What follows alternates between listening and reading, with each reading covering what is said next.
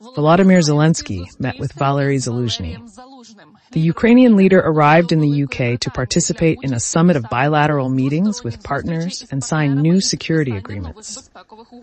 At the airport, the president was met by former head of the armed forces Valeriy Zaluzhnyy, who recently assumed the duties of Ukraine's ambassador to the United Kingdom. He will pay special attention to relations. He is scheduled to meet with King Charles VI of Great Britain, Northern Ireland, and the Commonwealth, as well as Prime Minister Keir Starmer on this topic. Our president will meet with officials and heads of defense companies. The parties will sign an intergovernmental agreement on support for the Ukrainian defense industry, discuss cooperation and expanding Ukraine's defense capabilities.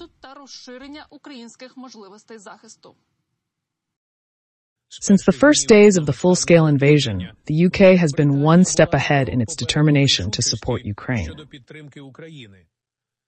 This is the kind of determination needed to stop Russian terror.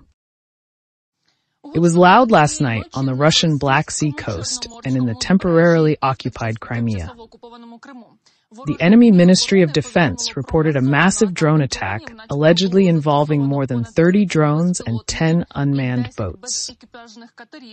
In Novorossiysk, residents of the coast were even advised not to approach windows.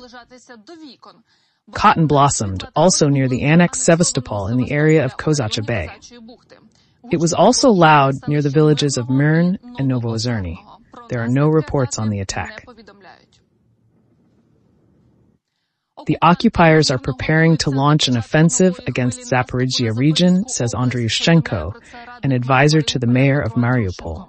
They are bringing troops from different regions from Novoazovsk and Donetsk. They are no longer moving towards Zaporizhia region through Berdyansk or Primorsk, but rather towards Rozivka, Polohi, and Tokmak, which is closer to the front line. Militants drove a convoy of 17 military trucks that had previously arrived in Novoazovsk to the area of Polohi in Zaporizhia. The tendency to accumulate new units near the contact line in south may indicate forming a reserve. For an offensive on the southern front and suggests increased pressure on Vuhledar in the near term. The deployment of equipment and personnel closer to the combat line in the south has been observed for a week. No changes have been recorded in this front line so far. Military clashes are growing. The enemies concentrate in the Pokrovsky sector. Our defenders repelled 26 assaults and attacks launched with the support of air power. In the Toretsk sector, Russians attacked Ukrainian positions 29 times in Pivnishne and New York. They also used guided aerial bombs. The Ukrainian defense forces continue to deter and deplete the enemy along the entire contact line. We stopped them in the Kurakov direction.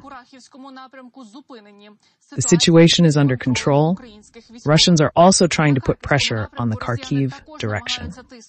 There were 20 clashes in Hlyboke and Vovchansk. The occupants dropped 104 cabins from bombers on Ukraine over the past day. In addition, it fired over 400 times, 94 of them from multiple launch rocket systems.